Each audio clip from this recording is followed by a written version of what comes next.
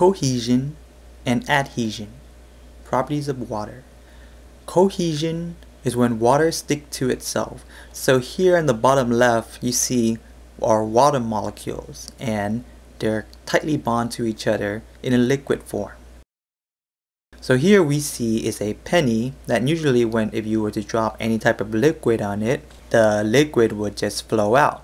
But whereas if you drop water droplets on it, it starts to accumulate and then it creates this kind of concave effect. Water kind of attach to each other and they fill up, they stick to each other so they don't fall out until it reaches its maximum amount then eventually it's just going to burst.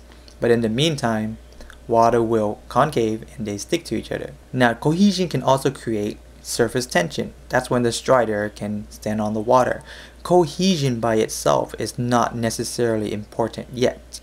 Then there's adhesion. Adhesion is when water sticks to other things. Adhes means to adhere, clinging, and uh, the ION part is the action or the condition of. So here you have a glass and then water sticks to the glass. Capillary action, that's when the water goes up to the root of the tree. And we see here is a capillary action. See how the water just kind of sucked itself up into that? It doesn't require much energy. So cohesion when with adhesion is very important. It helps, for example, capillary action, water up the roots of trees.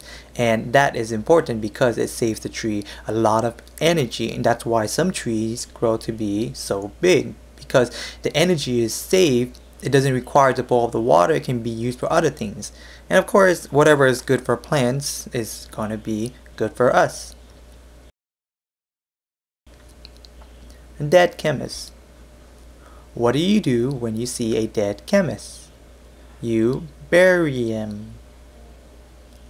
Now I wonder why the chemist died in the first place.